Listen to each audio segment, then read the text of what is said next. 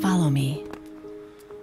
It's a simple request, sometimes spoken from a mother to a child, a brother to a sister, a friend to a friend. It's a request that requires trust, belief, action. It requires you to put your faith in a person who will lead you to safety, to peace. A long time ago, Jesus Christ spoke these simple words to his closest friends, and his invitation still stands today. Come, follow me. Follow me, and I will show you how to love others and love yourself.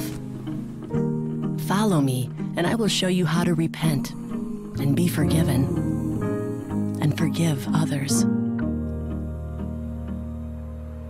Follow me to turn things around, to start over,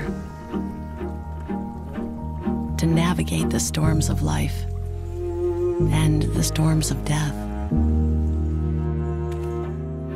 Follow me to find purpose, your purpose, God's purpose. He taught us the way, He showed us the way. And when we follow His way, we find new life.